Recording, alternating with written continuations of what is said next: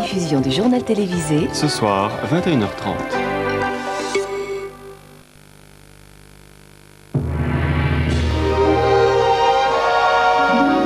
Rétro 21, le rendez-vous du soir illustré.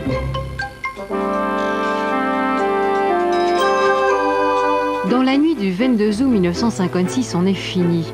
Les sauveteurs parvenus à l'étage 835 du charbonnage de Bois du Casier à Marcinelle ont découvert 85 corps sans vie. La catastrophe provoquée par un incendie qui s'est propagé dans les galeries a causé la mort de 262 mineurs, en majorité italiens. À partir de deux pièces de Tennessee Williams, Elia Kazan réalise Baby Doll, un film sur une Lolita qui se refuse à son mari, lui promettant qu'il en sera autrement le jour de ses 20 ans.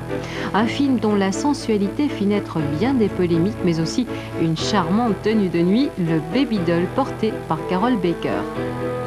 L'écrivain Romain Gary, d'origine soviétique, reçoit le prestigieux prix Goncourt pour son roman Les Racines du ciel.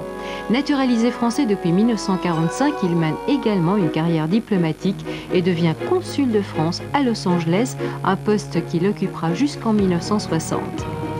Le mariage qui fait rêver cette année est sans conteste celui du prince régnier de Monaco et de l'actrice Grace Kelly qui s'étaient rencontrés lors d'un tournage dans la principauté. La jeune femme américaine et son époux rendent visite à Ike. Le président Eisenhower a été réélu le 6 novembre avec succès pour un second mandat. Question Rétro 21.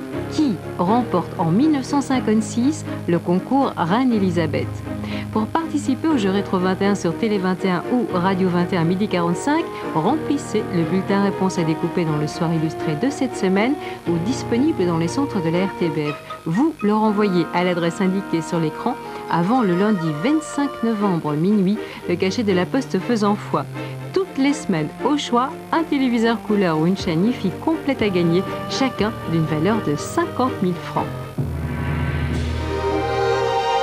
Rétro 21, le rendez-vous du soir illustré.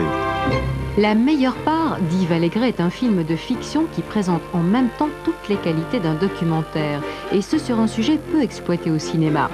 À 2000 mètres d'altitude, dans le cadre authentique d'un barrage en construction, il reconstitue le quotidien difficile des ouvriers confinés dans un microcosme où individus de toute nationalité sont guettés journellement par la tragédie. La photo est d'Henri Alcan qui travaille avec les plus grands cinéastes français et internationaux, dont Wenders, aux côtés de Gérard Philippe, Gérard Houry et Louis Velle.